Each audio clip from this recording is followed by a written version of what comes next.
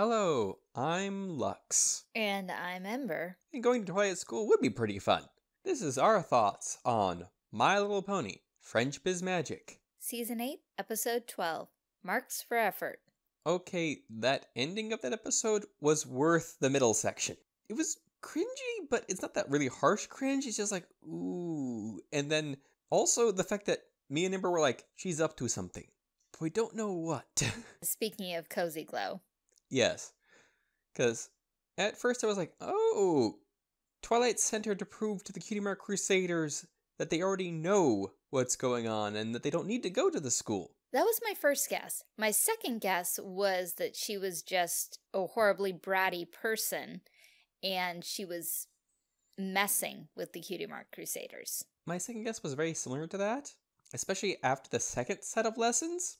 Because just something about the way she was acting, I'm like, hmm. This doesn't quite feel right. And just something about her voice actor reminded me of Princess from Powerpuff Girls. Hmm. Also, Darla from Cats Don't Dance. Ah, when she's acting sweet. Uh huh. Ah, Key word being acting. that's a good movie. I like that movie. It doesn't get enough attention. No, no, it's tragically underrated. And I didn't realize Scott Bakula voiced the main cat. Who knew he could sing? Well, we'd have to double check the credits because sometimes the speaking voice isn't the same as the singing voice. But either way, go Scott Bakula. Yeah. And now let's Bakula it up to this episode. I would give you a high five, but that would hurt the microphones.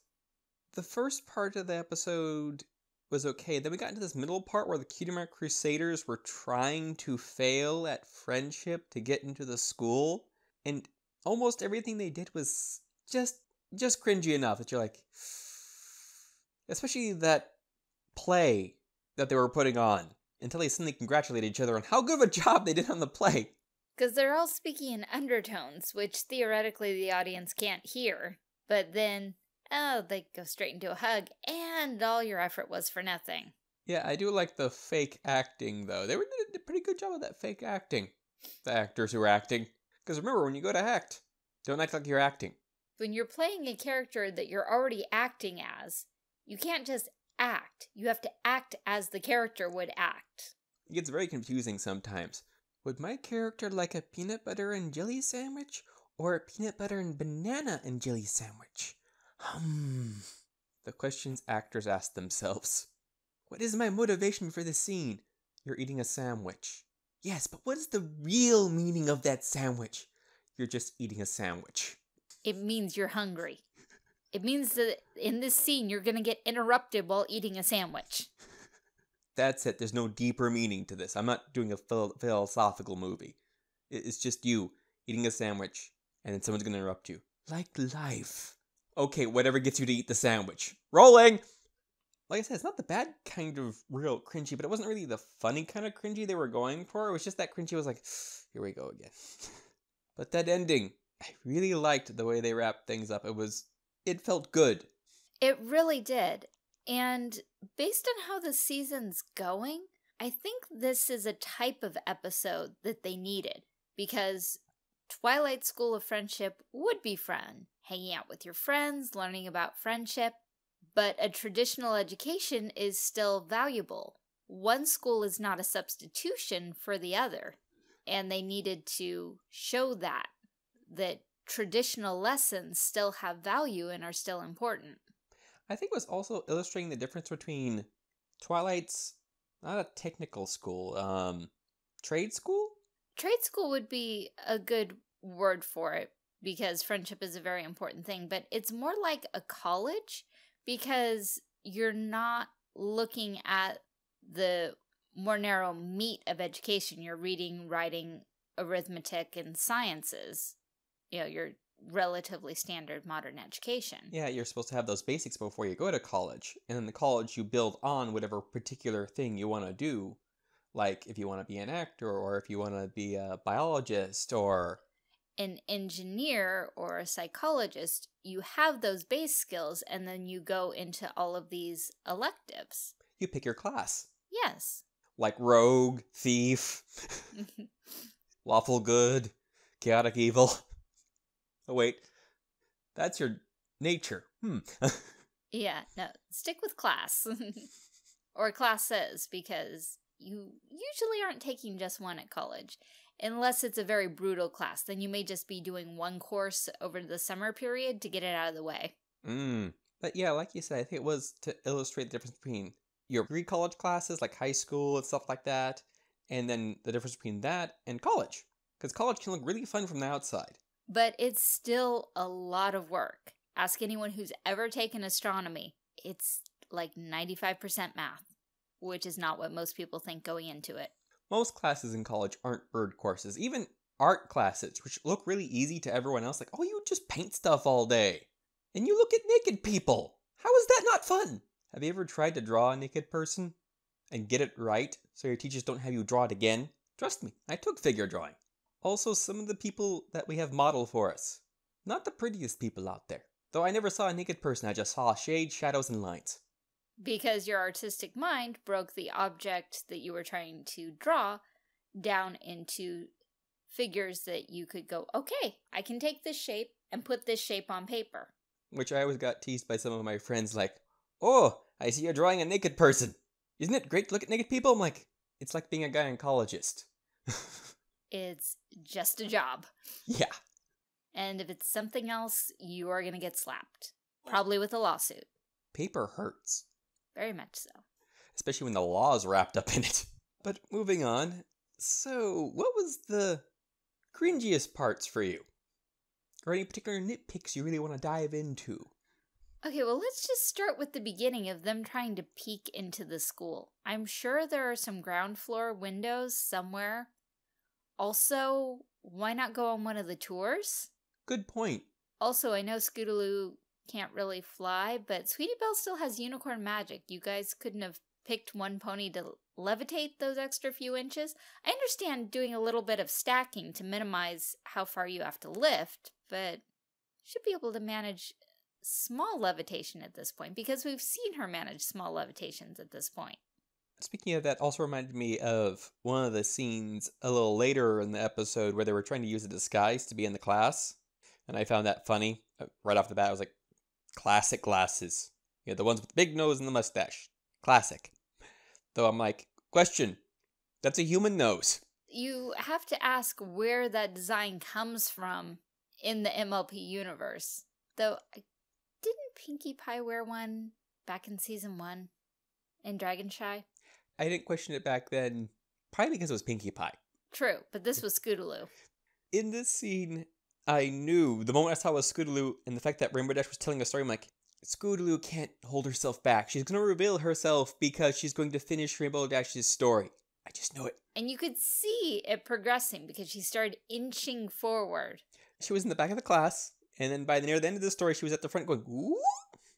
And then Rainbow Dash goes, and what do you think we did? You did. Da, da, da, da, da. I didn't tell that story to any of my students. Scootaloo. Never heard of her. Did you see a bunny about this big? Hmm, you mean with long ears like this? Yeah. Big eyes like this? Yeah. Buck teeth like this? Yeah. Never seen it. Also, another sign that Twilight School of Friendship is more college like. A school wouldn't assign you three random people that you don't know and tell you to go do something nice for them. But a college social studies class could do that. Hmm. Yeah, that was like another thing that kind of like threw me for a second there. I'm like, this makes me even more suspicious of this of her. I was like, really? That's your homework to do something nice for Bon Bon, Mrs. Cake, and Apple Bloom's big brother. Interesting.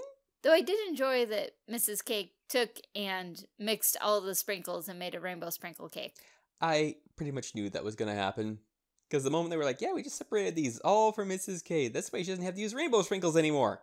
But what if she liked using rainbow sprinkles? Though it does give her more options for the future. It does. Like if someone specifically asks, I want a cake with blue sprinkles. She can now do a cake with blue sprinkles instead of like having to ask Pinkie Pie, who would probably magically somehow suddenly have blue sprinkles out of the rainbow sprinkler. Or just has her own supply of blue sprinkles because she's Pinkie Pie. Though I have a feeling that if you start eating that cake, you'd be like, this isn't a sprinkle, it's confetti. It's still blue though. or maybe Pounder Pumpkin could have done something. We haven't seen them in a while. I have a feeling they're still small little babies though. But we've seen that they have rather powerful abilities. Hmm. It's gonna be interesting if they ever age them. The show goes on long enough, they might have time. I know we're eight seasons in, but we were a couple seasons in before they got introduced. No, I don't remember what season, but I can tell you the episode was called Baby Cakes. Thank you. uh, I almost want to say season three or two. Comment below. Thank you. Also remember to thumbs up this video and subscribe. Mid-show plug. Though I have no idea where this is actually going to end up in the edits. Probably sooner than mid. So other than the end of the episode, what was your favorite part of the episode? Oh, the end and not in the, oh, thanks, Celestia, the episode's over. But no, this is a really nice ending. Yeah. I was like, the setup. Oh, that's so cool. Because I knew they weren't in trouble, but because they set it up like they were being judged in front of some type of um, council. Inquisition council, yeah. The way that all of the other instructors walked in, the timing on the music, and the way Twilight's chair swung around. And I love their, ah! we didn't do anything. We know that now. Also, rather mean of Twilight to automatically assume that the Cutie Mark Crusaders would do something that mean. That struck me really odd at that point. I'm like, what did Cozy Glow do? That was another, you know, stab in the coffin. At that point, was like, he's not a very nice person. I know, because that's when I was like, okay, confirm that she's a little witch. Because I was almost waiting when all of the other students came out. I was waiting for Cozy Glow not to be there and to find out that she wasn't even a student. That's what I was thinking as well near the end part. And didn't see her, and all the other students that we're used to seeing had already exited. And if she's doing any good at all in her lesson, she should be starting to make friends with the other students, not just the Cutie Mark Crusaders. I wonder if that was all part of the writing to make you think she was not a nice person. May have been, because I, I went a lot of different directions before we got to the ending. Because she was honest in saying that the Crusaders had been tutoring her, but dishonest in implying what that tutoring entailed. And tutor is a rather trusted position, so that was supremely mean, even though done for the right reasons. As uh, Starlight said, very devious. Uh, I'm, I'm sorry, listening, listening. That was another really good part of this episode. I'm gonna go and dust my room for the 87th time. Okay, they're all rearranged. Now I can rearrange them again in reverse alphabetical order. Comfort cushion, security blanket, comforting cocoa. Her expressions in this episode were great. Tell me. That was great. And also showing that, yes, a school of friendship still does need a guidance counselor. Well, you would think a school of friendship would definitely need a guidance counselor. Even if everyone's getting along, there are going to be times where someone won't get along with someone else. And in a school of friendship, it's important to have someone who can be a mediator between something like that. So that position is possibly even more important in a school where the focus is friendship. But jumping back just a little bit, you know, it seemed very unbalanced for Twilight to just accuse the Crusaders like that. Because that was a huge leap. So I'm guessing that she should have talked to Starlight and gotten a little guidance before approaching the Crusaders. Also asking for their side of the story. That's something she didn't do. Instead of, she should have just said, instead of getting all angry and huffy, she should have asked them in and, uh, and go, Cozy Glow informed me that you were her tutors, and her test came out rather odd. What did you tutor her in? Can you tell me a little bit about what you covered in your tutoring?